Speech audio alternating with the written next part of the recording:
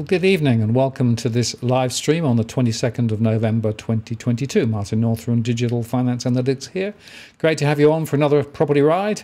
I've got Veronica who will be coming in very shortly. But just before I bring her in, uh, as always, I will just remind you that we are not providing property, financial, legal advice. It's a general conversation only. We do moderate the stream, encourage you to share your thoughts, but uh, please uh, just be careful what you say.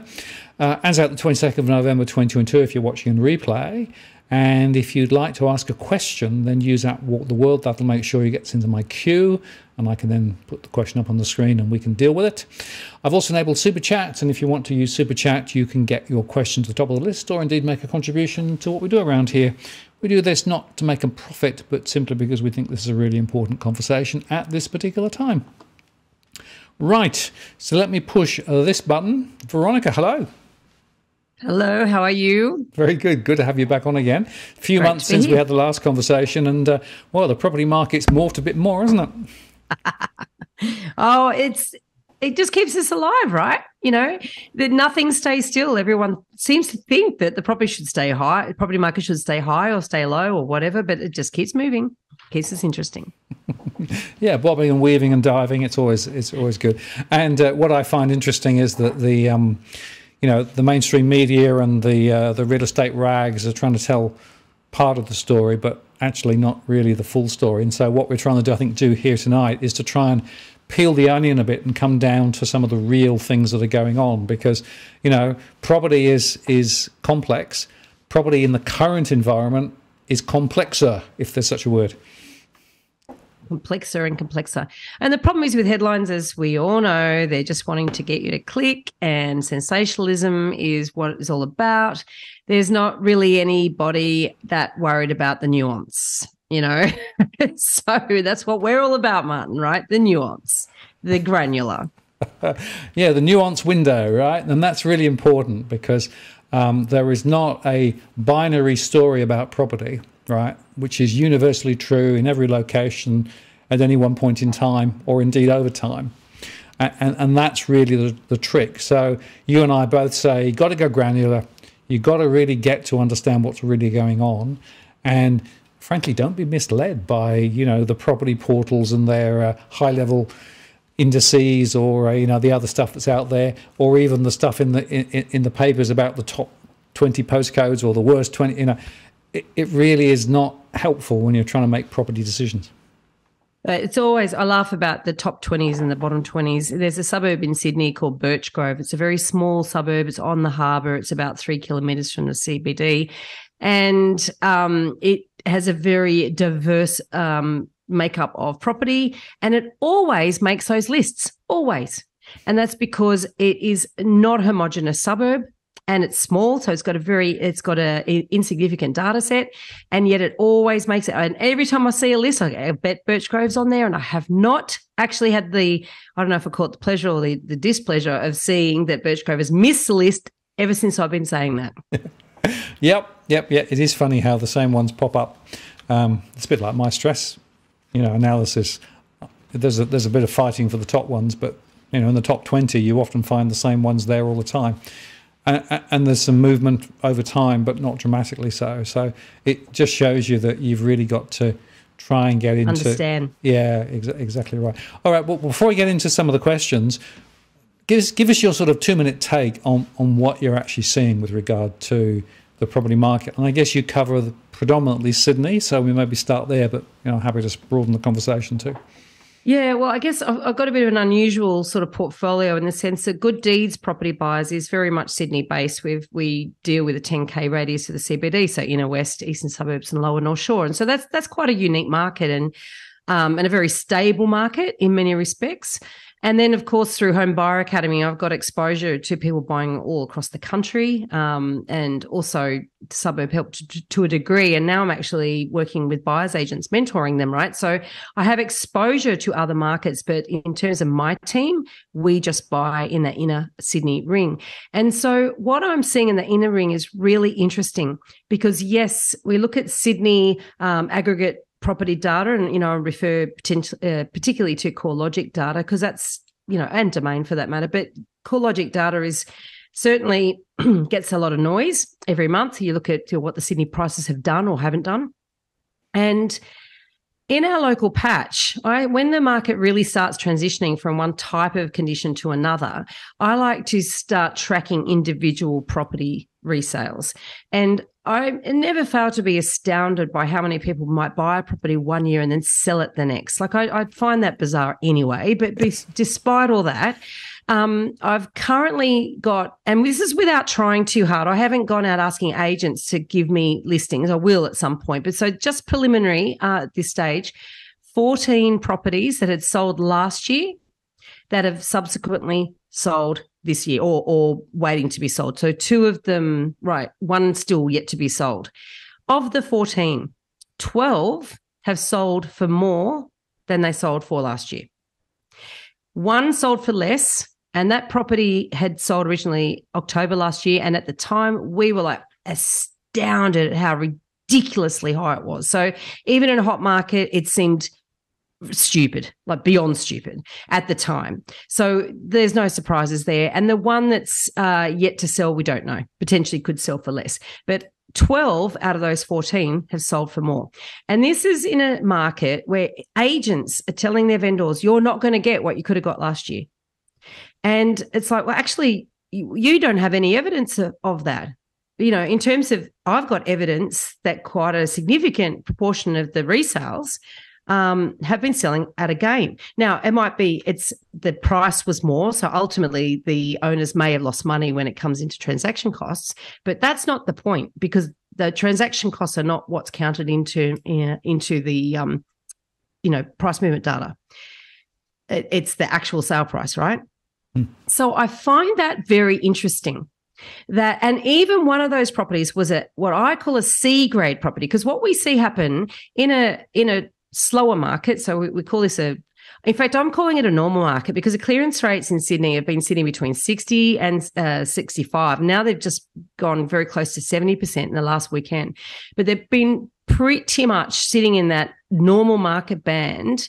Um, that's the auction clearance rates since the end of July and also the uh, and they've been creeping up actually and also the proportion of withdrawn listings has been creeping down so withdrawn listings is an indication of uh, agent and vendor confidence and clearance rates the selling is really an indication of buyer confidence but also you know a, a vendor is prepared to meet the market so it's quite interesting to see that um, you know there is the the data shows actually the market's more robust in Sydney than the commentary would say. so it's just looking at different type of data, right? Yeah. And and I'm looking at these on sales go, well, the evidence is thus far, and it's look, it's by no means extensive because I've only got 14 examples, and these are only in the inner west. I haven't even gone to the eastern suburbs or North Shore. But still, that's 12 out of 14 properties. And one of them I was about to say was a C grade, a really crap property that I wouldn't touch with a barge pole.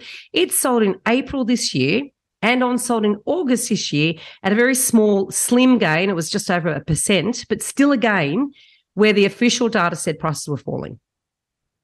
So it's it's an interesting so Cookie Boy said I need to watch uh, anti-sprik videos. I have been watching some of your anti-sprik videos, and I saw the Tasmania and the North Queensland one. I'm only talking about the inner Sydney here. That's all I'm talking about.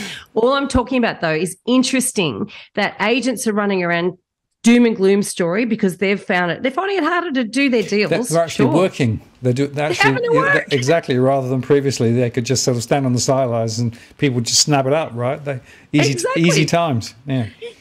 And I have no doubt, you know, far north Queensland is a long way from everywhere. So, you know, it doesn't surprise me what's going on up there. Tasmania even has been over, you know, inflated by a lot of investor activity in recent years. So to some degree, I, am not surprised there either. I'm not intimately uh, across those markets, so I can't really comment beyond those broad, broad brushstroke comments.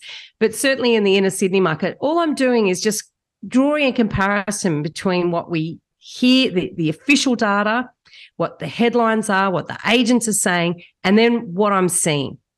And so when you're talking about you're not going to get what you would have got last year, I think it's more a perception that because in a rising market, everyone thinks their pri- their price is going up, and now people have to adjust those expectations. You know, and so it feels like they're falling, but they may not be in all cases. Anyway, just two cents worth on that one. No, very good. Thank you. Well, I, I, wanted to share this with you. This is actually from the Westpac Pulse. They published their monthly pulse today. And I thought it was quite interesting. So I'm just going to read you a couple of. So they started by saying Australia's housing correction is showing no signs of letting up.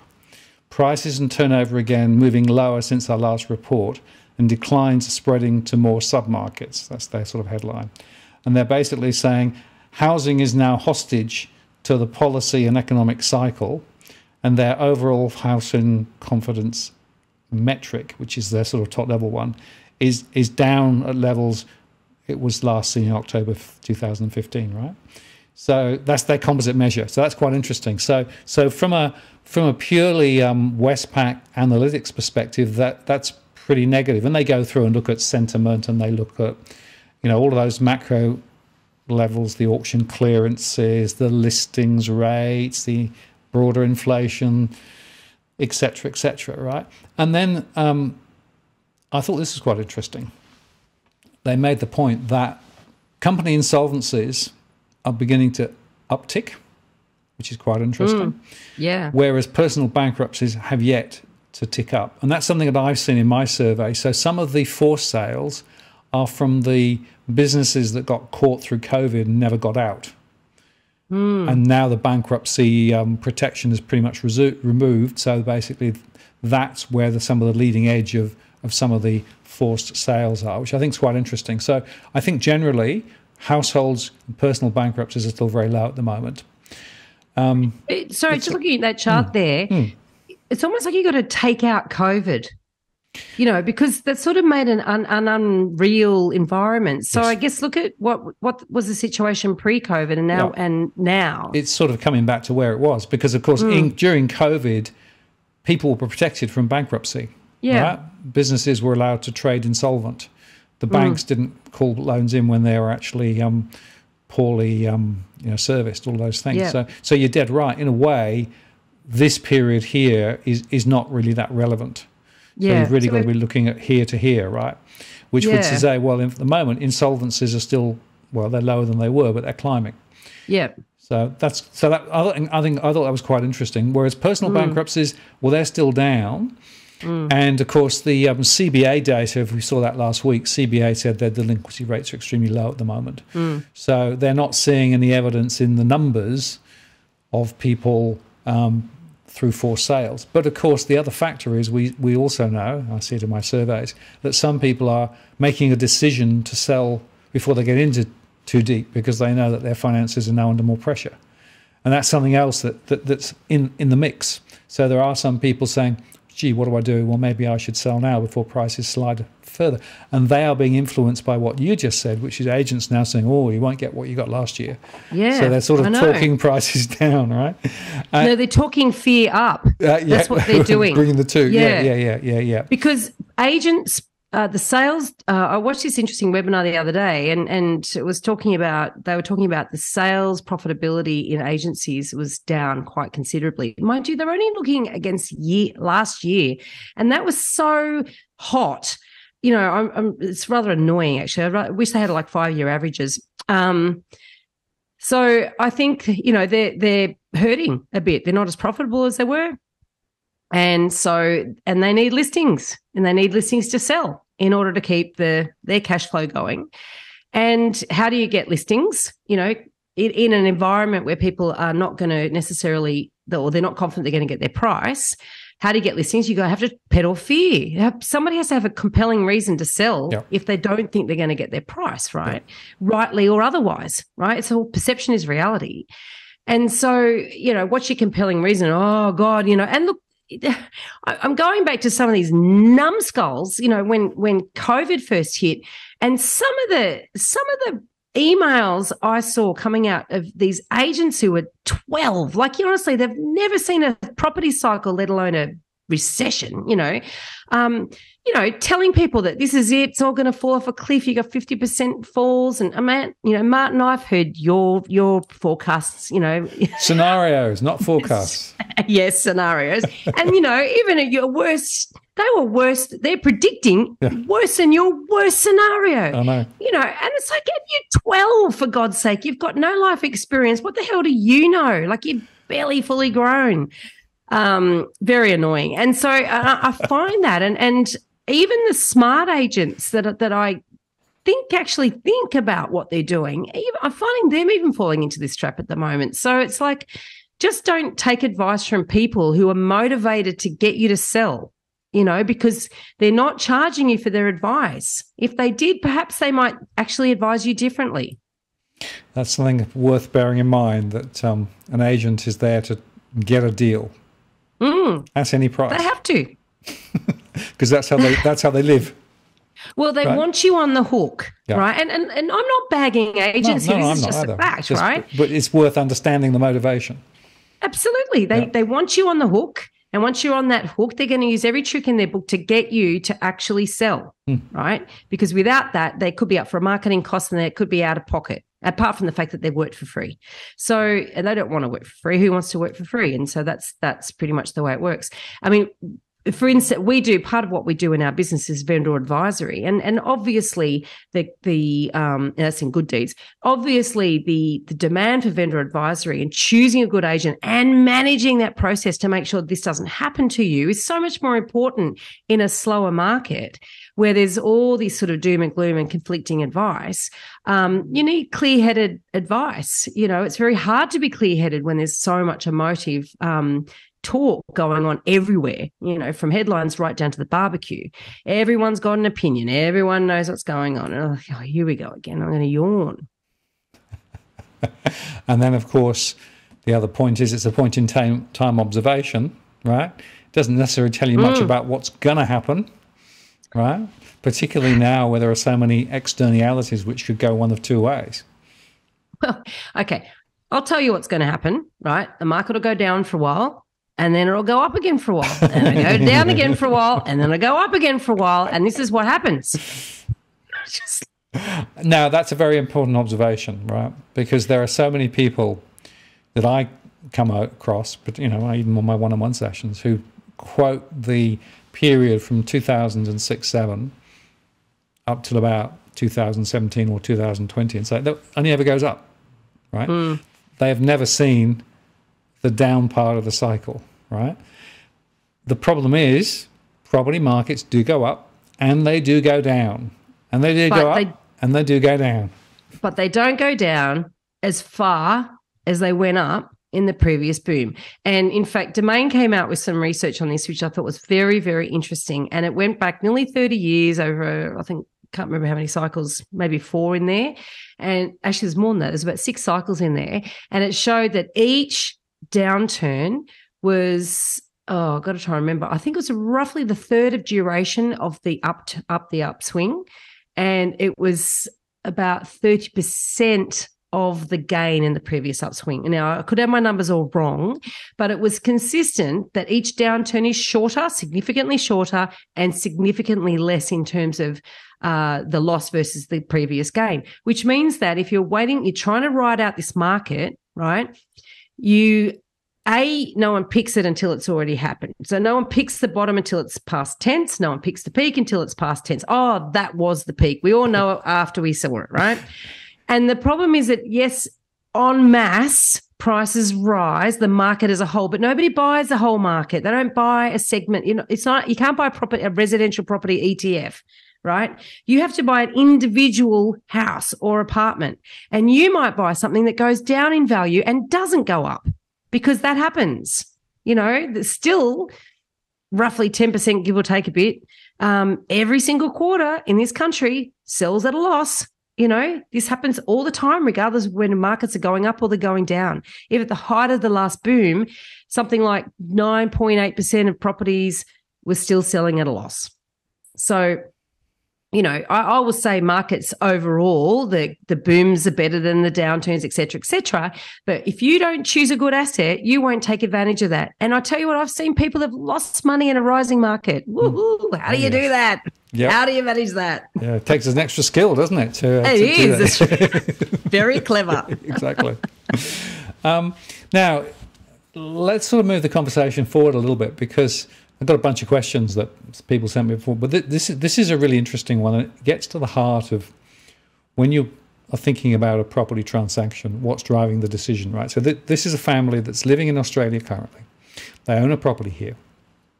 They've got UK roots, and for various family reasons, they need to go back to the UK, and they're going back long term.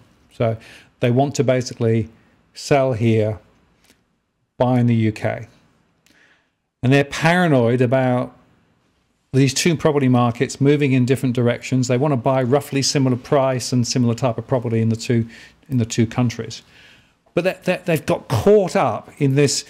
Oh, well, maybe we should rent for a bit and see whether property prices in the UK drop a bit, or you know, if we sell now in Australia, we're we giving away value? And they've got themselves in a, in, a, in an absolute doom loop, right? You've they, forgotten. You've forgotten currency. Yeah, good point. Yep. Good point. That's a very important element in the mix too, right? Mm. so, Doom loop, yeah. So I think, I don't know what you think, but I think what they've got themselves into is they've got the financial dimensionality of the problem in the center of the mind. Mm. And I think they're missing the, the main point, which is fundamentally a property is somewhere to live and somewhere to you know grow and live a family with, right?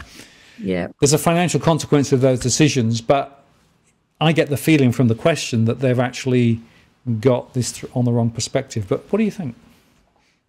I look, I agree with you. The problem is with trying to work out the market is that you've probably got equal chances of actually got, I would say, unequal chances of lucking it and getting it right than you would of totally stuffing it up because nobody is an expert in the sense that they control the market. You might be able to read the market, you might be able to understand what's happening. Um, I can read the market and understand what's happening, but I can't control it. And I don't know exactly when it'll peak. And that's just here, let alone trying to work out the same wherever they want to buy. And, you know, and then plus then you've got currency to deal with as well. So because none of that is controllable, you have to make decisions based on your needs as a as a family, right? You have to decide on what do we want to do? Because you, you could put all your bets on the you know the Australian property market continuing to fall and, and the UK will fall more. You could put all your bets on that. You, you form your thesis on that and say, right, that's what I'm going to act on. You have to be prepared that you could be totally wrong. And if you only have one asset, you you just can't risk it. Like you just have to make the decision for other reasons, for the right reasons for you as a family. And then the rest just has to fall in line. And whatever happened happens because you can't control it. So it's tough and it's really hard, particularly when you've only got one asset. If you had a share portfolio, you could dollar cost average your exit. you know, you could you could you can smooth that out. But that's the problem with with property, really. It's lumpy. Horribly lumpy. Mm. and you probably, you know, you might have a few properties, but most people have one property. Yeah. And the the point is that the number of variables that you're trying to solve for, exchange rates, relative income growth, relative property mm. growth in the two areas, the different transaction costs of buying and selling, which is something else that people forget. And uh, by the way, if you buy in the UK and you don't have residence in the UK, you get hit over the head by a four by two. Uh, also, their chain system. Yeah.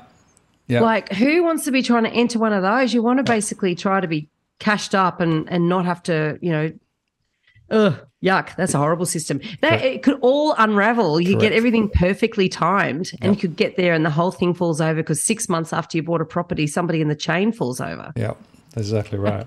It, it, it is it is not not a pretty sight. So so my conclusion. I mean, this this was I got permission to actually tell this story because I, it was a really interesting conversation, and we we, we, had a, a one for one that one to one that went for an hour and a half as we sort of unpicked all of this.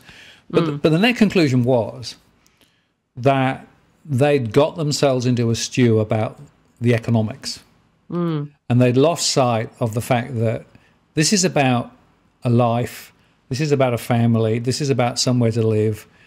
And look, you might win some, you might lose some. But if you're trying to pick what you do to try and just optimize the financials, you've got the wrong agenda. You miss the point, don't you? Yeah, you? you do. You do. Yeah. Yeah. Yeah. I think it's very good advice, Martin. We try. Don't always succeed because often, and it's interesting because, um, and again, I'm, I'm not telling tales out of school because I, I got their agreement to tell this story. Um, but they actually didn't necessarily have the same view. When I sort of The couple. yeah, the couple. the pu- yeah, yeah, yeah, yeah. When I started teasing it out, I realised that the bloke was actually on the numbers, right? Mm. Um, the lady of the house, with you know, thinking about the kids in the family, w- w- was trying to counteract that by talking about these other issues, but she wasn't really being heard. So I ended up more as a sort of a a, a counsellor, right, rather than actually my, my sort of normal role. But it was a very interesting conversation, and it shows you the the complexity that you can get into when when the, these things come along, and you know when you think about international and everything else. But I I think there's an object lesson there even for local transactions too. I, I have lots of conversations like that because um, I do individual strategy sessions with people. I, I don't, I actually don't promote that, even though I just said it on your um, YouTube channel. We'll, we'll we'll keep quiet about it. don't tell anybody. Um, but every now and then, um, I do these personal strategy sessions, and, and it very much is around, it- like you say, unpicking is a good one. And what I find though, and it's the same with with often with property searches as well with couples, right? You will often find it's like a Venn diagram, you know, what. And look, I'm going to go heterosexual couples, but not everyone's a heterosexual couple. But let's just do a he and a she because a majority still are. Um, you know, he his circle and his requirements are in one side and hers are the other and in the middle are, are where they overlap and and it seems to be that the more stressed they are the more these circles pull apart from each other and the smaller the overlap in the middle and what i have found from surveying you know in the in this classic heterosexual type scenario where the bloke is the breadwinner, you know, with the big white collar job in the city, and the wife is taking a few years out of her career to look after the kids and they're looking for a family home, is that quite often the bloke is, and I can't even believe we're talking about this in the in the the teens, by the way, that this is still stereotypically quite dominant. But the bloke is very much, I'm going to have to work till I'm 80 to pay for the house. It's big enough for the lifestyle and all the rest of it. So she can swan around drinking coffee and go to the gym. Um, and, you know, and I, I sort of get both sides. I do get both sides. I think if, if anyone, whether it be a man or a woman, is going to be at home with children, um, and take a time out of their career for a period of time, you want to have connection to people and your community. You want that and you want that at your doorstep, right? Because you, you know, if you do have a career, you're sacrificing a lot to to stay home with little people for a period of time if that's your choice, right? But yeah, the the financial burden falls more heavily on one part partner. And it is interesting when that stress levels go up, they do, they pull away and they really just, you know, they put up walls around their defending their their needs and their desires. So half the the the role, like you say, is like a counselor to sort of mediate get them back on the same page, get them back in this in the in the center of the, you know, get these circles overlapping more. But um, and it's amazing how responsive people are if they are in a in a nice, healthy relationship. It actually really it's quite amazing how responsive people can be to the to a little positive intervention. Yeah, it, it is very interesting. And I would make another point, and that is that sometimes um, they try and analyze their way out of it, right? because it's scary. Yeah. And and so you know, if particularly if you're a detail oriented person, you're going to err to the data to try to justify what is a big scary decision. Mm. You know, so it's like giving them permission sometimes to say that's actually not where the answer lies. Absolutely. Very interesting. Well, you know, that's why I wanted to have that conversation because for me, there were a whole or sort of a series of life lessons, which I think are quite important. Here's, a, here's another question for you. So, this is actually a first time buyer in New South Wales, um, buying in the range where they've now got the choice with regard to the land tax, right? And just to explain for those watching from interstate, up to a certain level, 1.5, I think, right?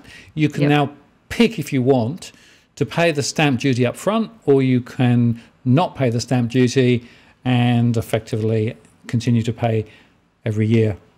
Once, land tax. once you've done, the land tax then stays annualized for subsequent sales. So you can't reverse it later. No, it doesn't. No. It doesn't. Exactly. That was what they originally wanted to do, but they couldn't get that through. Okay. So it does not pass on to subsequent. Oh, um, okay. I missed, I missed that uh, change. Okay, right. So the next purchaser could switch it back. Okay, That if their next purchaser is a first home buyer, they have the option. If they're not a first home buyer, they will not have the option. They have to pay stamp duty. Mm. So this is an interesting one. Okay, can I just say a little bit of a plug? If anyone is a first home buyer and they're trying to work through this, right?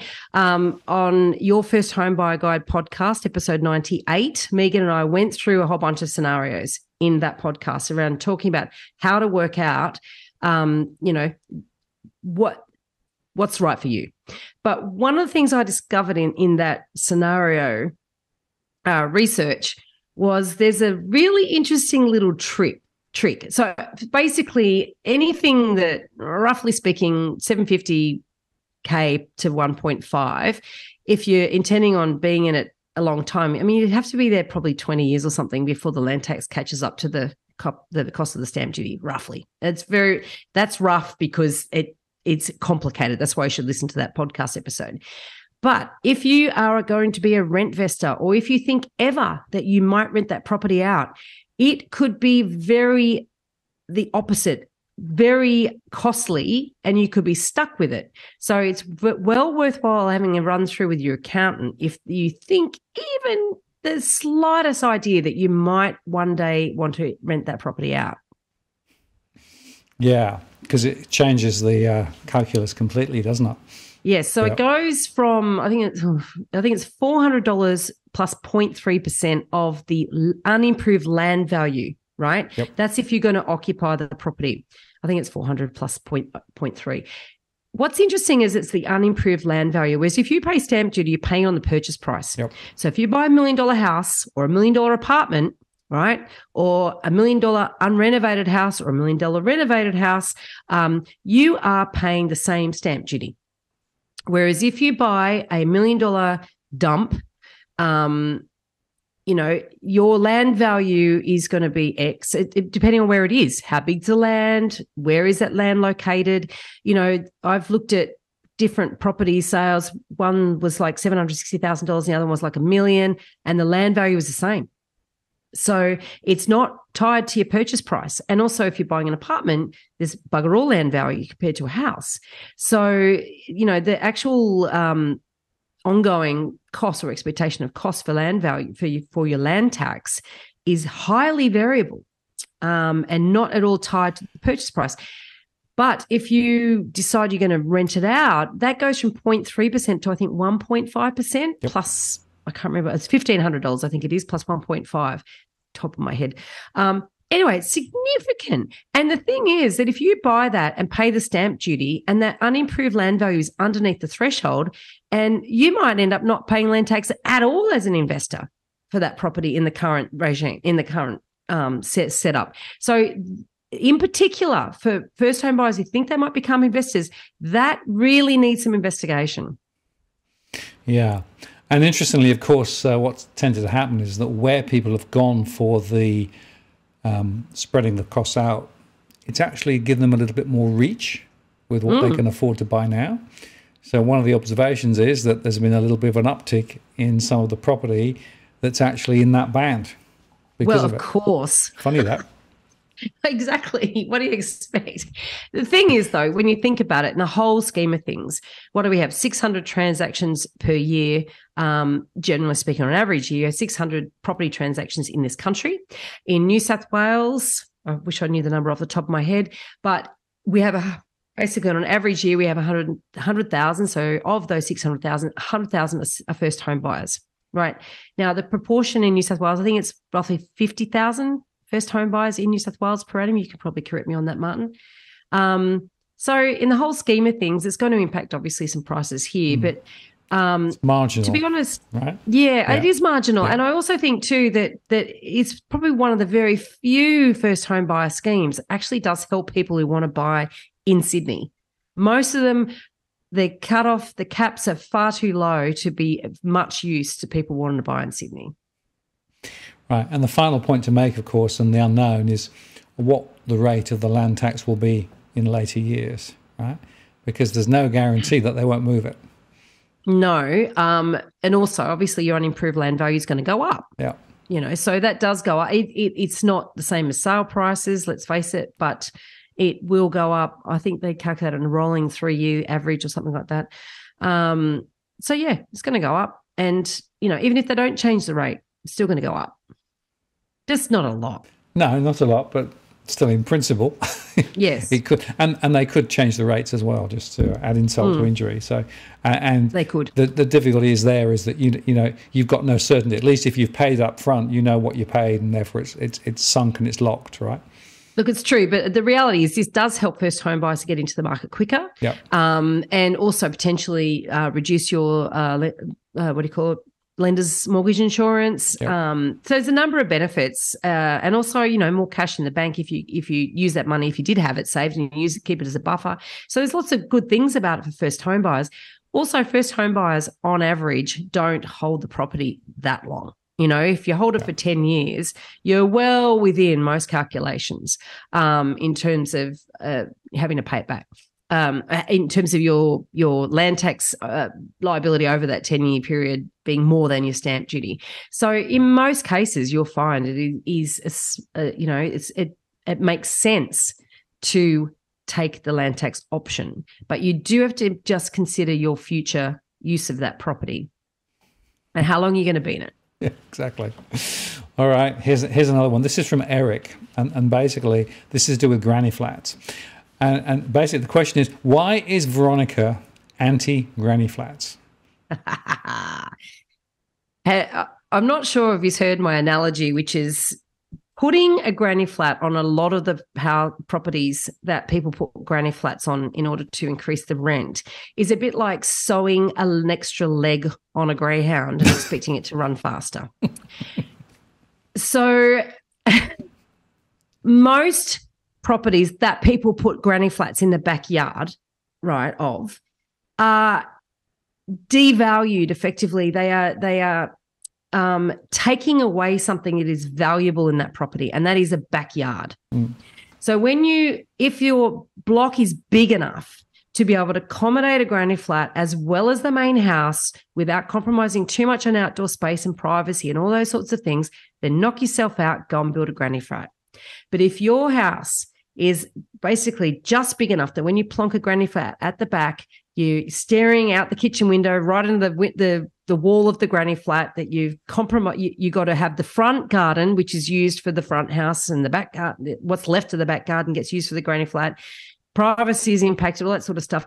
You've basically cut down your future buyer for that property to an investor who wants a cash flow um, positive, potentially investment right?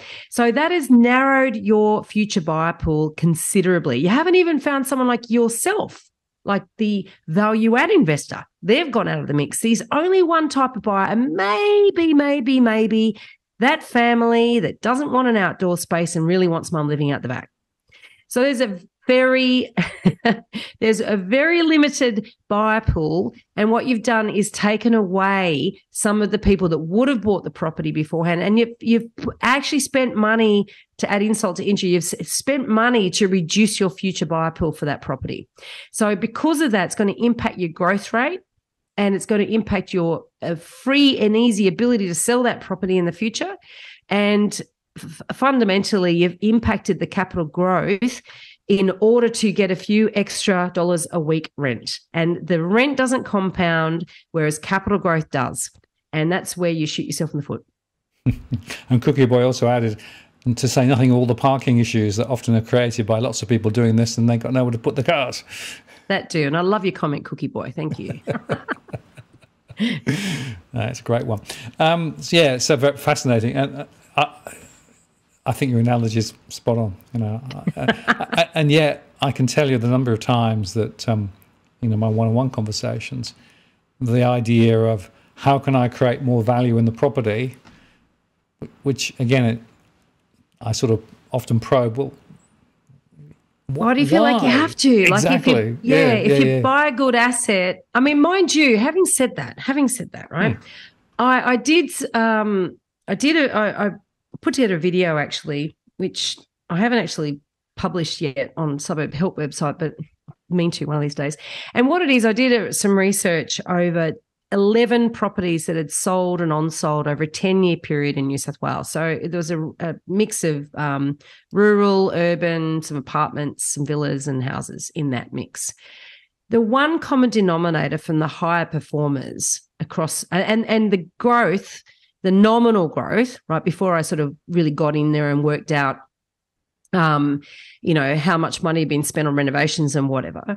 Um, the nominal growth ranged from over this 10 year period, 64%, I think, to 400% or 396%. So huge difference. So somebody only got 64% return over, over 10 years, whereas others got nearly four times, right? So just over half to four times. Big difference, right? Now the four times was um, actually a rebuild. So let's let's take that back, that knock it back. But the best performers um, tripled their value. You know, so it's possible that somebody could only get half their money back, or 0.6 percent, um, and someone else could triple their value over the same ten year period, right? And so it's really interesting looking in into well, what are the factors? You know, what makes one property do so well and something else do so badly? The common denominator actually was value add, but you got to value add in the appropriate way, right? And putting a granny flat on and ruining value add is adding something, not literally adding something, but adding something that makes that property more appealing, right? I reckon a three legged dog would run faster than a five legged dog, by the way, smooth operator. Um, but so you, your value add means making the property better, right? Not making getting more rent necessarily. Getting more rent isn't necessarily making it better. And often when you make it better, you can get more rent, but maybe not quite as much as that. But anyway, so that's why I don't like granny flats in most cases. Thank you. Yeah, yeah. I, I, I think they wanted to hear your long run on Granny Flats because they knew that this was going to be a, a good conversation point. My rant. That's great. Uh, but but points so well made.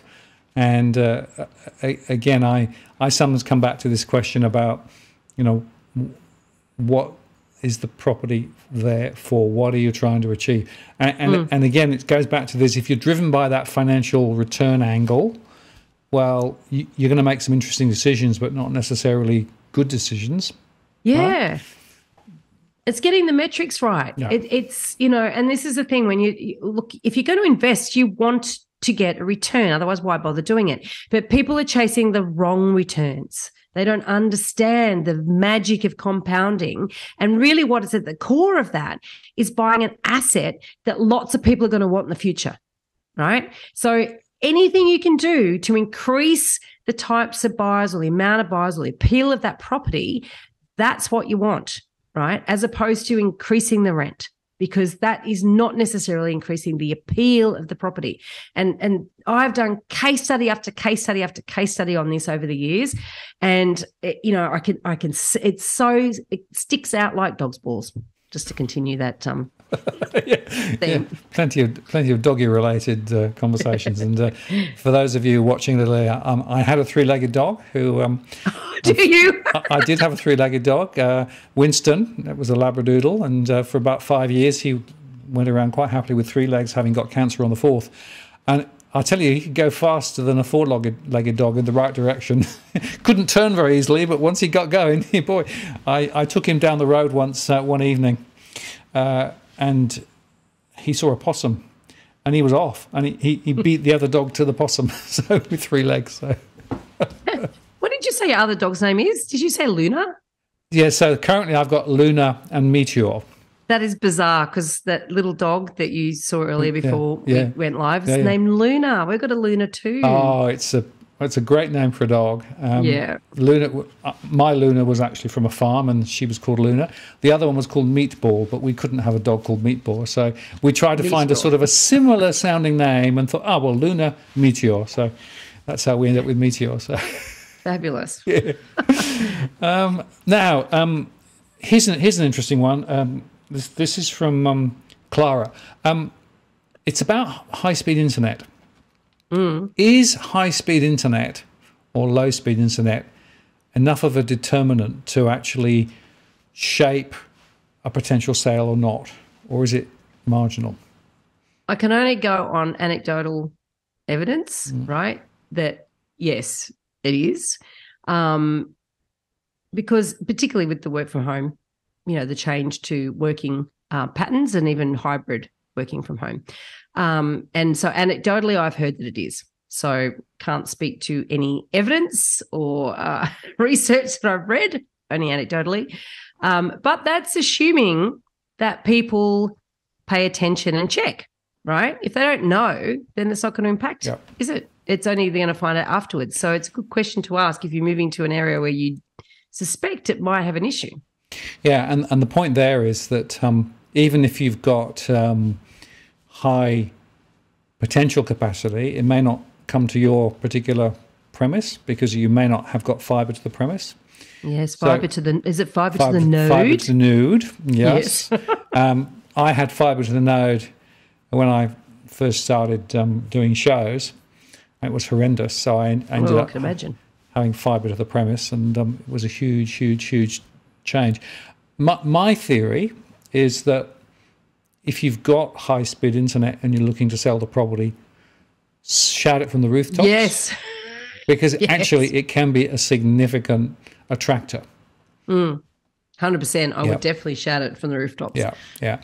And often my experience also is that agents don't often recognize it as a potential additional positive to put on the on, on the on the details. So I always say to people, if you're in the happy situation where you've got high speed internet available, broadcast it from the rooftops because it can make quite a difference. For many people if they're working from home or if they've got uh, you know a large family with lots of internet users all on mm. the same time it's a difference between a peaceful evening and a non-peaceful evening. So it can be quite important.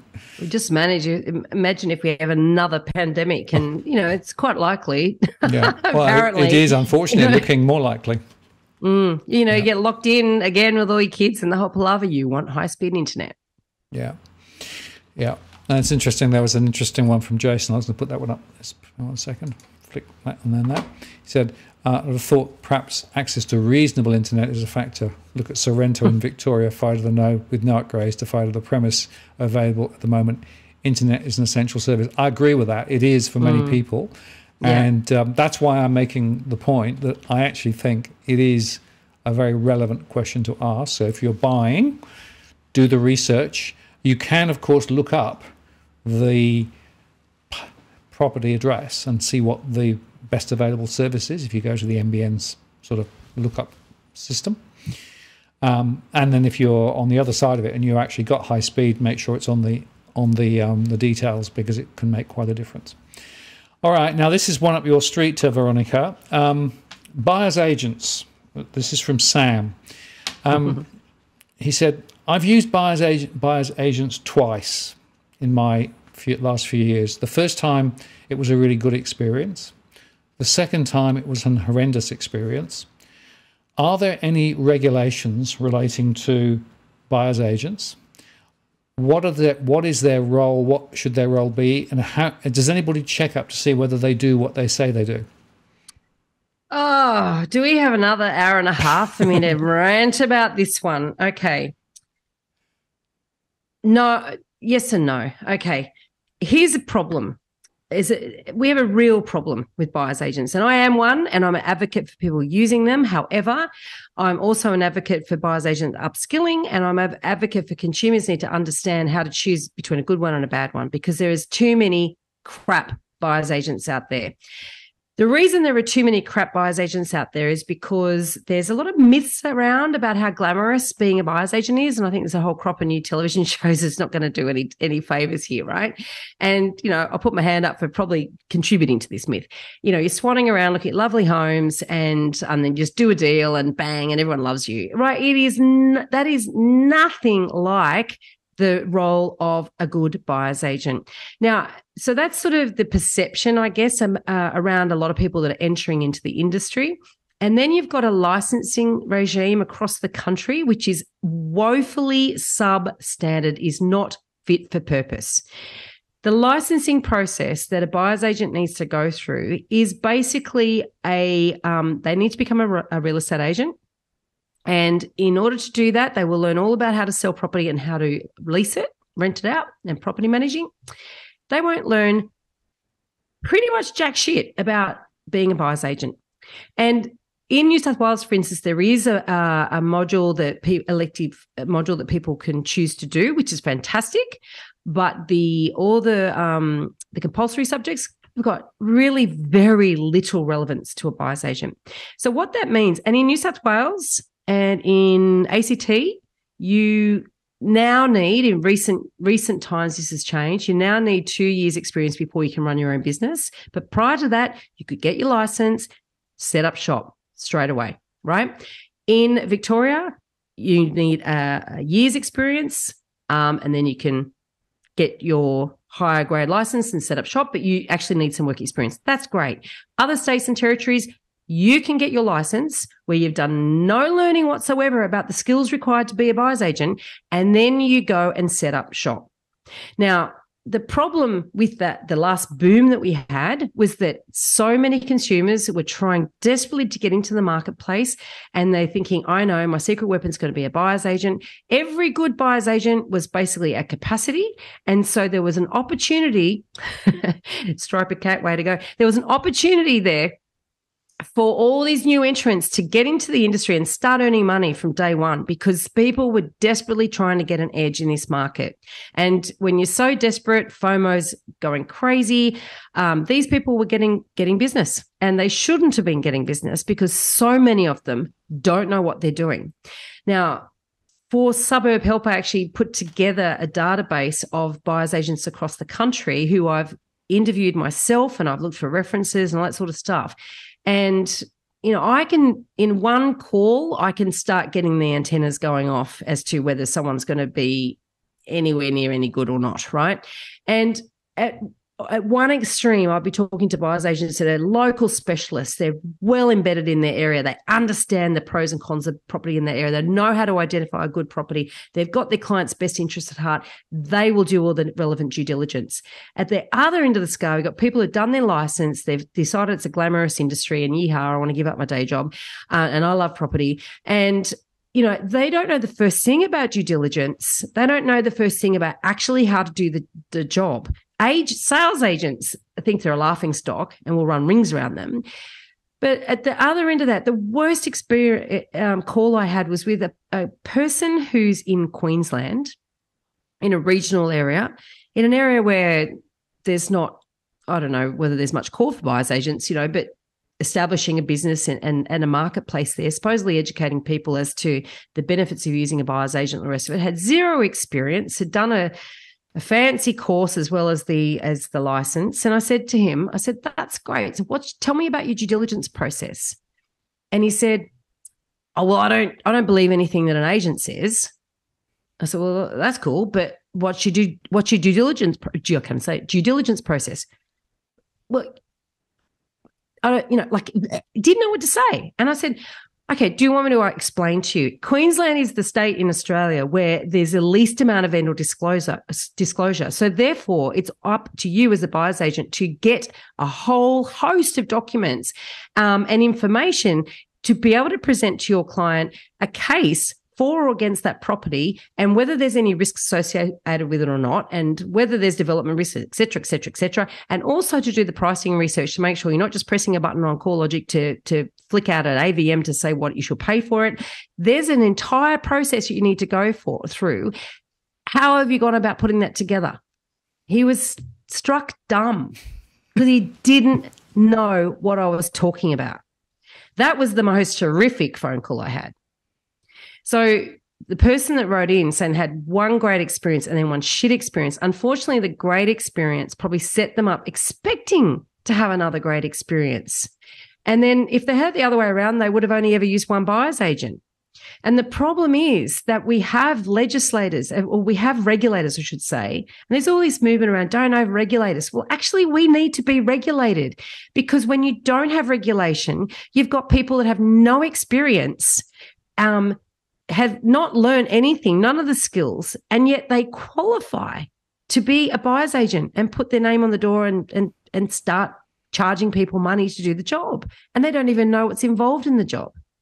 So yeah, I don't know. The, the regulators don't seem to review it importantly enough to recognize the risks. And I really do not understand why what is so hard about that, but they don't. No, so, no. Yeah, it, it, it is. it is interesting, and my conversation with people who are thinking about, well, you know, if I use a buyer's agent, surely that gives me an advantage. To which mm. I reply, it depends. It does depend. Right? You yeah. might get an advantage, but you might not. You might be paying extra money for no no good reason.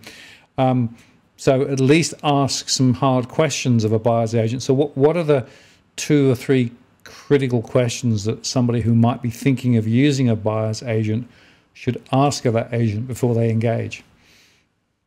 Well, look, for starters, this is why we put together Suburb Help was was partly to help people by narrowing down a list of buyer's agents that we could be confident to recommend that you, they can't pay to be on.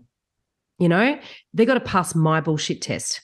Now, in my bullshit test, so you can go to Suburb Help and, and send us an inquiry if you want to. But if you want to pass your own bullshit test, you ask them about the due diligence process. The problem is that you need to know what they should be telling you. So you need to learn what needs to be done.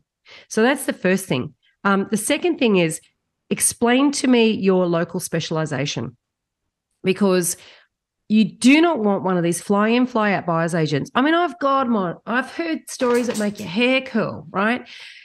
Buyer's agents, you know, not even looking at properties and sending some local, you know, in, in another state, sending a local property manager to inspect it for them. You know, like give me a break.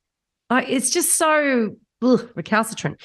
So, you know, I want everyone to understand you need to get a local specialist, right? And if you don't get a local specialist, you run the risk of somebody is just going to does not understand the the drivers of that local market. You're not necessarily going to buy a good asset in that area, right? So that's the first thing. Due diligence, the local specialization. You know, you want to know what sort of properties they've been buying in that area um, and and really cast a critical eye on those. Ask for evidence. What have you been buying? And the other thing you can do, you can call local agents and sales agents. The problem is that's a bit difficult there because some buyers agents will pay local agents referral fees, and so they're going to be biased you know so you have to be careful about that um, the other thing that you can do is there was one other thing i was going to suggest And, oh um, you want to talk to well yeah ask them for a list of everything they bought and randomly pick three properties and ask to talk to those clients don't let them give you the clients that they want to give you if they offer you to be reference checked right so that's another thing you can do yeah and the object lesson there is if you're going down that route you got some car, tire kicking to do. You mm. can't just assume because it says buyer agent on their on their chest, as it were, that they're actually automatically qualified and appropriate and will do you a good job. That's the key message, I think, for that one. And this is why I've started. You know, I think I. Do you mind if I talk about the the mentoring program? Yeah, no, go, go for piloting? it. Yeah, right, yeah, yeah, yeah. So literally last night I delivered module 12 of a 12 module um, program, which is now going to be a 12 month program for new and almost buyer's agents. So wannabes that are doing the licensing course and new buyer's agents because there's this huge problem with people that are attracted to the industry because they like property. They might even like people, which I think is pretty important just quietly. Um, And then they go and do the course and then they're stuck because they're like, I know that this course hasn't taught me what I need to know. I do want to do a good job and I don't know where to go. I don't know where to turn. And it's really hard to get a job in an industry with a, a high proportion of micro businesses as well um, that aren't sort of you know hiring necessarily. And also people who do hire want even an associate or a trainee they, they actually want someone with experience even for a trainee role. So it's really difficult to get into getting mentoring and getting um to, you know part of the part of the problem, you know, with the licensing situation where you can go and get your license and go and set up business, a, a, lot of the reason people do set up business is because they can't actually get a job with a decent buyer's agent. You know so it's a real problem entering the industry and that's the reason that i've put together this this program and i'll be launching it properly next year to help people actually learn the skills they need to do the job properly. And that actually will make them more um, more I guess, employable as well if they don't want to set up their own business. But if they are trying to set up in New South Wales or ACT or Victoria, they don't have the option. They're going to have to work for someone else, and that's a good thing. But they also need to to take along a bunch of skills, so that give them an advantage there. But it, it's a really difficult business to get a nice, clear pathway into it if you want to be a good buyer's agent. Yeah, absolutely. Um, a good one is uh, is the critical thing. Thanks for that. So yep. there you go. That was. Uh, um, I think uh, the the person who asked the question was lucky the first time, not lucky the second time. Yeah, right? and I'm so sad to hear that. Yeah. To pay somebody yeah. right to do a worse job yeah. than you could have done yourself Correct. is just shocking, and Absolutely. it happens a lot. It does, unfortunately. Um, now, uh, Jason asked this question.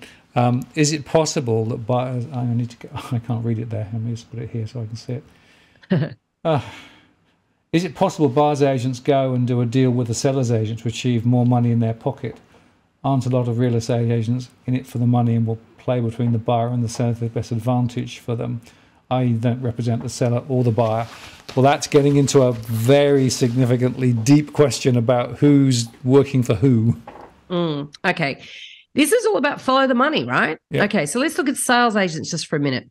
A sales agent is paid by the vendor right? So you would think that their loyalty should be with the vendor, except for one very critical thing. yes. That vendor, it's a commission, not a fee for service. Yep. And it means that the vendor only pays them when and if they sell. And so that sales agents, everything that they do has to get a deal across the line. And you would think that's going to be at the best possible price, the highest possible price. And many of them, many of them do. But at the end of the day, what's more important is a sale because they need to get paid. Pardon me. So that's the sales agent's motivation. A buyer's agent, if they are charging a fee in the same way a sales agent does, i.e., a commission, and it's paid only if they buy, they've got the same problem. That buyer's agent is motivated to get that person to buy come hell or high water. They're not interested in the price that you pay. They're not interested if it's a good asset. They just want you off their books so they can get their money. So how you pay someone is very, very important. Now, there's lots of different models in the buyer's agency space. Um, we like, for instance, in Good Deeds, we a fee for service, and it's, it's we we charge a fixed fee, right? It's not a percentage.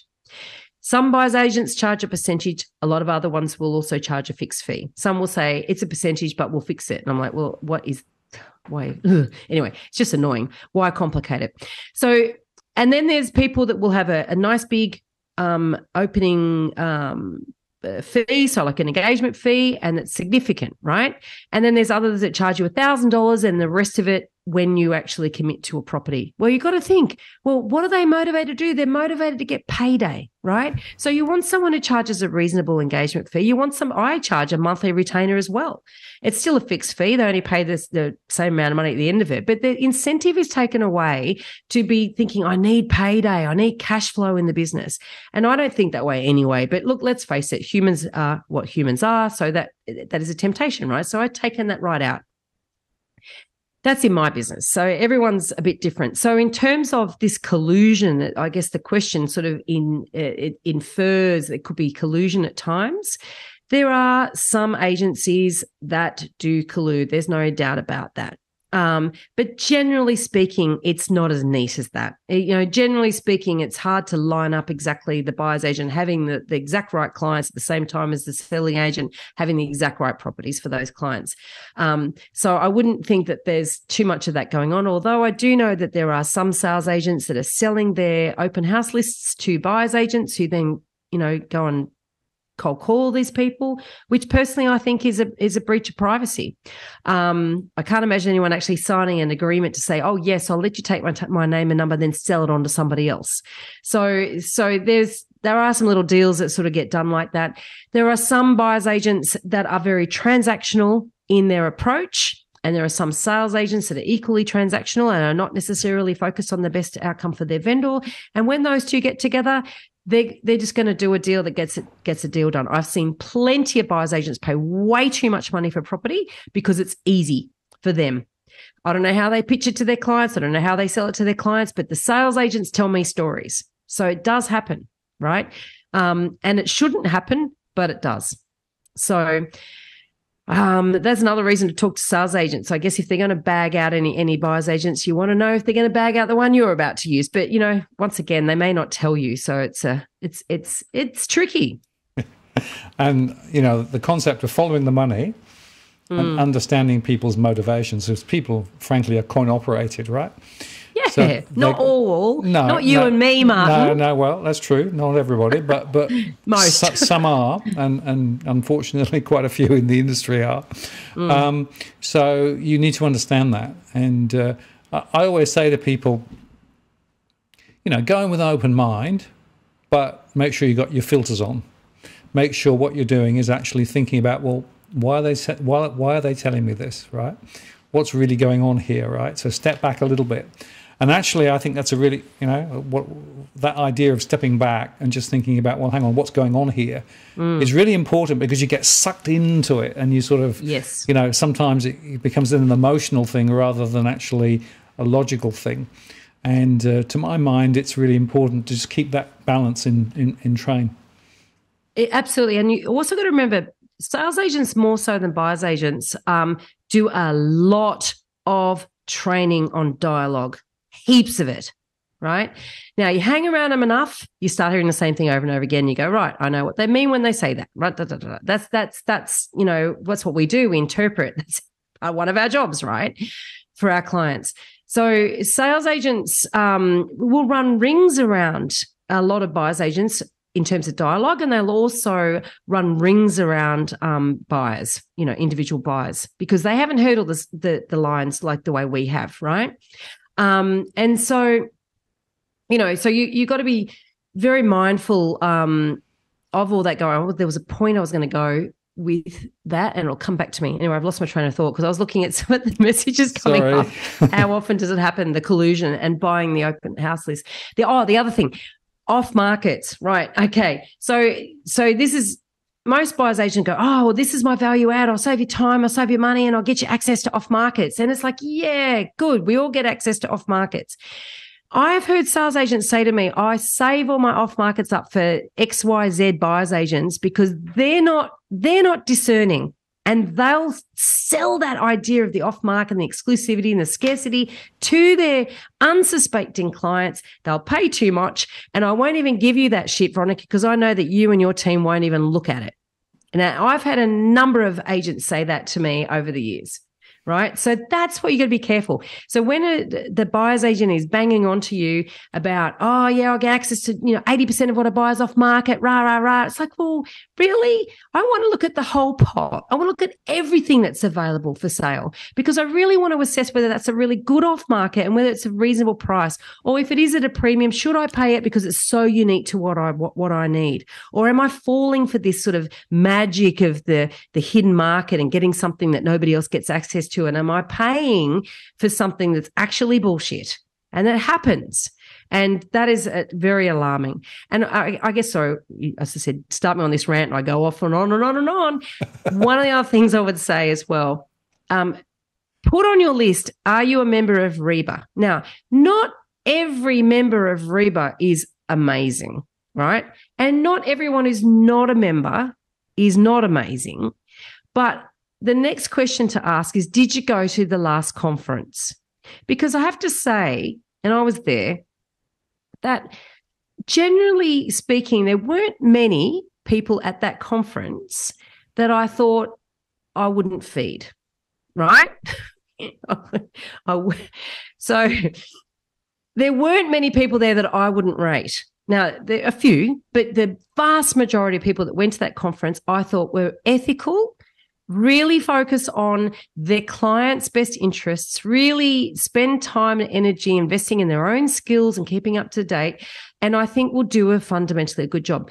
I would say 95% of the people who were there. So if you want to filter down, that'd be that'd be a really good filter. Are you a member of REBA? Did you go to the conference? So you can know then and then ask the other questions and you can make your mind up. I think you've got a fairly good chance. Excellent. Well, thank you for that. And uh, you know, I, I actually think that in some cases doing it yourself is a good way to do it because you, at least you get to know what's really mm. going on. But if you haven't got the time or in the wrong location, a buyer's agent, a good buyer's agent, can take some of the heavy lifting off. But you've got to be careful, you've got to be picky, and you've got to ask the right questions. Yep. All right, here's another question. This is from Julie. Um, here's an interesting conundrum um, million pounds, which we want to put into property, investment property. Pounds. Million, it's a million pounds coming in from us from the UK. I mean, yeah, right. so presumably, so is that three million bucks now? I, well, can't, I don't know what's the exchange it, rate. It's, it's, I think it's 0.56. So you know, it's it's, it's getting over to let's say two million Aussie, right? Right. Um, question is, for an investment portfolio, when we're thinking sort of five to ten years, she's saying we're confused about whether we should go for two or three apartments, mm. or hmm. whether we should go for a house because of course you're going to have to pay a lot more for a house and you might but it's all in one place. You could actually buy three apartments and you could spread the risk or you could buy three apartments in the same block and you know. Uh, how would you go about unpicking that problem if you were so you know you've got nothing to nothing to sell you've got this money in the bank and you're looking to build a pro- investment portfolio. It's actually in the sydney locale and is that their budget, or have they gone and worked out whether they can also borrow some money? It's the money they've got. So I guess they, they could, more they could, they could borrow against it or mortgage it or yeah. Yeah. And so obviously from a so step one for me would be to get some financial advice yeah. in terms of, you know, A, your borrowing capacity, B, taxation implications, um, C, uh, the period of time over, you know, you want to uh, what's your plan? I mean, why property? I guess is a, is a question as well to say, because to me, um, and obviously I'm not, I'm not able to advise in any other um, category of investment other than property. But property is what we call a lumpy investment, right?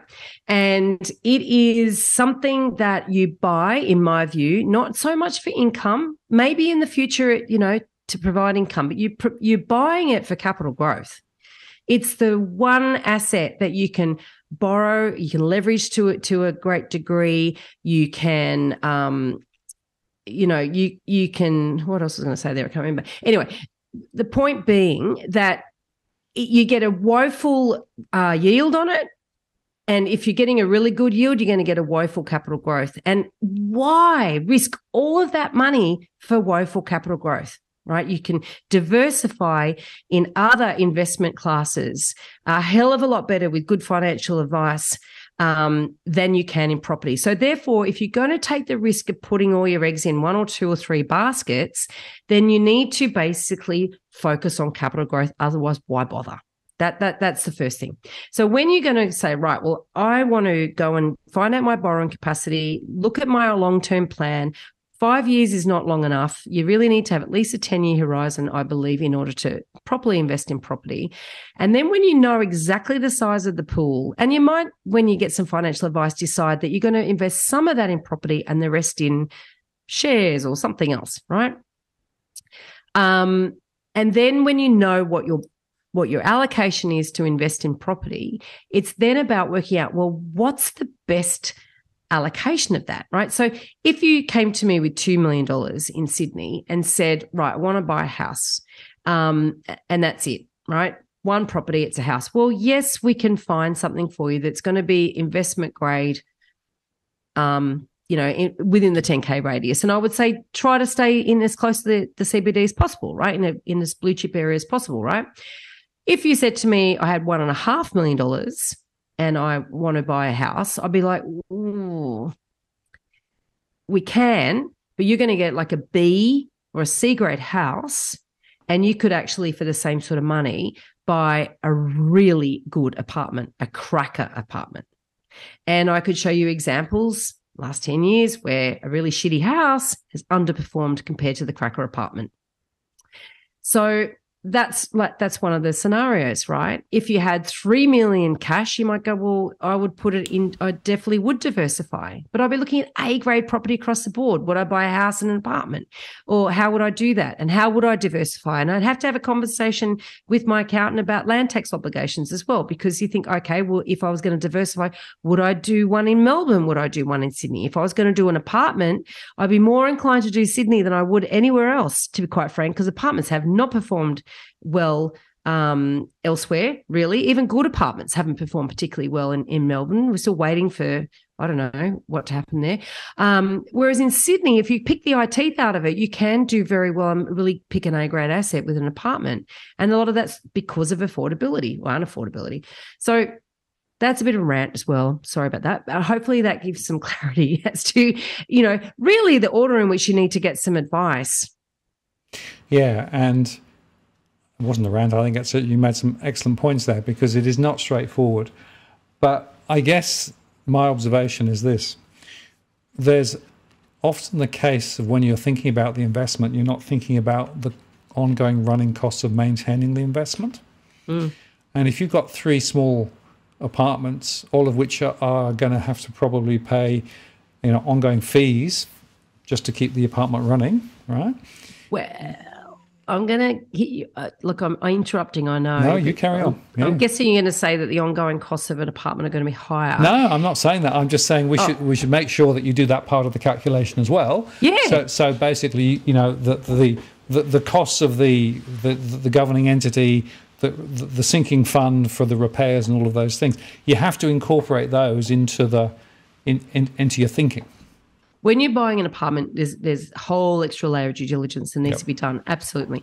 Now, the thing though, and and you know, I look at my own investments, the costs are roughly in percentage wise in terms of, of percentage of um, income are roughly the same house and apartment and that's because houses all the maintenance is on you, mm. you know, whereas strata levies is a budgeted form of, you know, maintaining and insuring that property and running that property. So, and also typically yield on apartments is slightly better than yep. on houses as well. So it's sort of in terms of the percentages comes out in the wash. And I think if you're starting off with a big chunk of cash, particularly if you're a bit more mature and you know, you you don't want to sort of borrow heaps and have this huge dint in your cash flow. You want to enjoy life, right? Especially if you've got a nice big chunk of money there. You think I'll borrow enough so that I'm I'm uh, you know I'm having a higher exposure to the property market, so that my investments um has got you know this my snowball's bigger, right? But I won't borrow so much that I have a cash flow problem. You know, you can do that. And that's why getting that financial advice at the beginning to sort of model those things out, it's really important. So you can determine, well, where am I comfortable? Mm. Where am I in my life? Where am, what are my goals? And and so therefore, how is this going to, to serve me in that? And the problem with property is that it's a great thing for really young people, but it's also a difficult thing for really young people because getting into the market is really tough. But if you can get into it when you're young with good assets, not shit assets, then you've got 20, 30, 40 years runway. Then you start divesting as, of property. But when you're getting closer to retirement age, you do need to have other assets in your pool. Maybe you've got a big super balance, but you do have to have other assets because the problem is that you get to, you know, you've had a property for 10 years, say, you know, and then you go to retire, you probably still got a chunk of debt on it. And, you know, and that's when you've got to start working out, well, how am I going to reduce the debt? What am I going to do? What's my plan there? So, and that's why it's really important to, to really work those things out before you commit to a property, because once you are committed, you can't sell a bedroom to free up a bit of cash. That's very true. And I just want a quick point on the superannuation end of things. Um, there are, of course, limits on mm. superannuation when you actually move from the accumulation to the extraction phase, you know, that's 1.7 million, I think was the last time I looked, um, which basically means that anything above that, you can't actually use it. You've actually got to commute it. And so there's, there's a whole bunch of questions Yeah. about the way that you've got your superannuation structured and the, and the value and the volume of that. So you, you cannot make an investment Isolated decision decisions. on property without having a canvas which includes the other elements. I think that's that's sort of the key, the key first point. Hundred percent. Yeah, yeah, easy to say, tough to do, but it's really important to have a plan. Well, yeah, but the thing is that if you've got that much money, right, then you've got something to plan with. Yes, that's right. As opposed to early on in life, when you're early on in your career, and, and this is a real problem because something like 50% of um, financial planners left the industry in the wake of the Royal Commission when they increased the the uh, trade uh, the educational requirements for financial planners. A lot of a lot of experience left the industry. You can have your arguments as to whether they oh they're too lazy to get a degree or not. I don't know. There's experience left the industry. And so it's really difficult for people who don't have a significant amount of money now or a significant income now to get access to good financial advice. But if you've got a big pot of money like that, well, I would expect that financial planners probably going to be interested in talking to you. So you just got to find a good one of those and find someone who understands property and the, and will talk to you about property in the whole scheme of things. Because the problem is that they view that say it's not a financial pro- product. I can't talk to you about it, and then then you sort of cast adrift. Um, and tha- that's not the answer either. And you've, I just made one of the points which I was which I was going to make. There are very few financial planners, in my view, who puts property on the same tier as other market investments, and actually Yeah. have a holistic view, which includes the property portfolio and you know the other investment classes. The number of times I've I've, I've spoken with people in my one-on-ones where they've got really bad advice because they didn't include the the property bit of, in the story. It was like mm. property's over there. We'll just leave that. We'll do the rest of it, right? It's, it's, So re- even their own home, it's such an important part of our whole plan. It's so know. ridiculous. I know. Yeah. It is. It's um, quite amazing. But there is that, that's another weakness in the in the uh, advice uh, sphere in Australia. Well, we- Yep. we're close to the end, but I just wanted to come back to Westpac again, uh, and I wanted to show you this. This is actually the Westpac um, report again, which came out today. Uh, I wanted to give you. They're saying New South Wales leading the way lower is their summary of New South Wales, right? Victoria, no let up in sight. Queensland, prices drop despite tight supply. Western Australia, still holding up well. South Australia, stalling but not falling. Tasmania, looking badly rattled. And the territories like NT slowing and the ACT prices are, are cracking. Uh, now, it's interesting when Westpac is, is at least trying to actually tease out some differences down at the state level, right? Which is what you and I have been saying for quite some time. You have to go granular. The point I, I guess I want to ask you is how granular is granular? It's not granular enough. No. They got they got Northern Territory and ACT on the same line for God's sake. I mean, what does that say? That says to me, throw the whole thing out. The ACT has been one of the big performers in recent times. And Northern Territory, I don't know, I can't comment on that, but I have to tell you, well, actually, we'll comment. I'll comment on the Darwin apartment market because I do believe the last time I looked, the prices were still lower than they were 10 years ago. So, whereas the, the ACT housing market went gangbusters. And in fact, I think did the median price pip Sydney at one point. At one point it did. Yep. Yeah, there you go. So, how could you have those two on the same line? Yeah, I know. And the reason for sort of putting that out there was that I get really frustrated with these sorts of reports, right? Because they sort of look all authoritative and they sort of, you know, say, well, you know, here's a page or two on New South Wales, here's a page on Victoria, right? As though somehow they've got a definitive a definitive view, right? And I can point to falls of property values. Look at my anti spruce. For example, in, in Western Australia and in South Australia, there are examples where property prices are being significantly cut. Right? There are others where they're not, but but you can't go at this high level view, state level view. You have to go really, really, really local. And then you have to look at the types of property, the you know, the stars and the dogs and all of those things to really get a get a, a view. I I am of the belief that in the current environment, it's ever more critical to go local. Mm. 100%. 100%. And because even like if you look at say CoreLogic data, they'll have Sydney and then rest of New South Wales. yeah. Like that's that's statistically accepted, right? Rest Brisbane, rest of Queensland. Yeah, yeah. okay, that means you're comparing Mackay and Southport. Yep. Um, very different markets. Or Gympie and I don't know, Dalby, Dalby, Texas. There's a place called Texas in Queensland. Do you know that? Yeah. Um, so it's it's ridiculous, and and you can't draw any conclusions from any of that. And the other thing too, I mean, I don't know. I haven't met the people in in Westpac's economics team. Maybe I maybe I should, but you know, we we have interviewed on the elephant in the room. We've interviewed uh, Felicity Emmett from ANZ, and we've also interviewed Belinda Allen from uh, CommBank, both senior economists.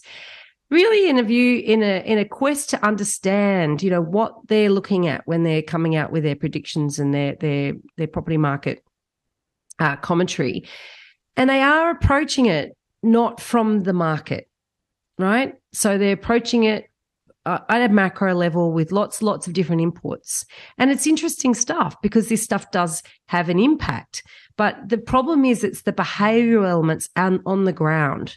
That's what makes the market do what the market does. It's all reactions you know and so confidence i think westpac's confidence uh, consumer confidence um, or the housing confidence index is quite useful because that's more about attitudes of people right? And even at the moment, all the confidence um, indexes, uh, like consumer conf- confidence, is way down, and yet we can't rein in um, inflation because people are still spending money. So we might not be confident, but we're still spending. Yep. So, so there's all these measures, but the actual behavior, that's what we need to be looking at because that's really what that's really what makes the market go up or down. Yeah, well, one of the things in my surveys is the financial confidence index series, which is trying to get those attitudinal points, right? Because I actually think that's at the moment the most critical things. You know, it's, it's what people are thinking and what they're planning to do, which then translates into some of my, my other modelling. But uh, mm. yeah, you you can't macro you can't do macroeconomics down on this stuff. That's the problem. It's it's it's the wrong way.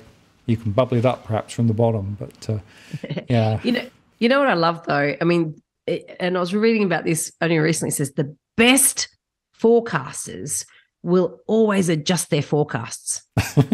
and I'm like, so that just means that the best forecasters are just admitting that they're trying to, you know, make a call with imperfect information mm. and then they're constantly tweaking it as they get more hmm. information, which mm. basically means that their forecasts are shit because the minute they get more information, they're going to tweak it again. And so, by the very process which makes them good is actually admitting that the process is a waste of time. Yes. RBA, please note. Because they're the worst of it, right? In terms of their oh, expectations, well. and all those poor buggers that um, yes. you know that that took note of what Phil Lowe said about not raising rates till 2024. And let's face it, you know, it sounds very credible. And the RBA comes out and says they're not going to do something. And people did act with confidence as a result of that. And, you know, then he goes and retrospectively says, no, I didn't really say that, right? Well, sorry, Phil. At the time, I've got evidence from real people that they took him at his word and made decisions based on what he said. Mm. So that's a very. I believed him. You know, I'm pretty cynical. I, I, I thought, God, it, he's.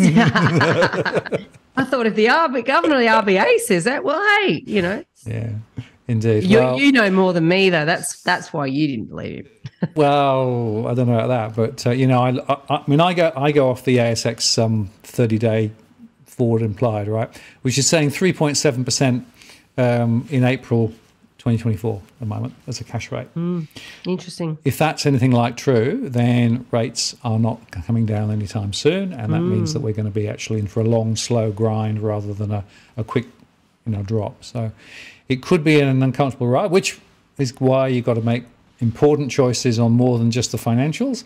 Why you've got to go granular, and why um, if you're going to pick people to help you, buyers agents or whatever, make sure you pick them on the right basis rather than actually just because uh, I'm too busy, I'll get somebody else to do the work. No, no, you need Yeah. to be a bit better than that. Um, we are, believe it or not, out of time. If people want to find out more about you and your services, where do they go? So many different places. Well, no, I've narrowed it down. I've got one now. They can go to veronicamorgan.com.au. That's simple. Everything's there. I've updated it. I've upgraded it. So because I was just like, oh, if you want this, you want that, blah, blah, blah. You can find everything I'm up to and uh, everything that I'm working on that really ultimately helps consumers get access to better advice so they can make better decisions. All points, all the directions point from that one website.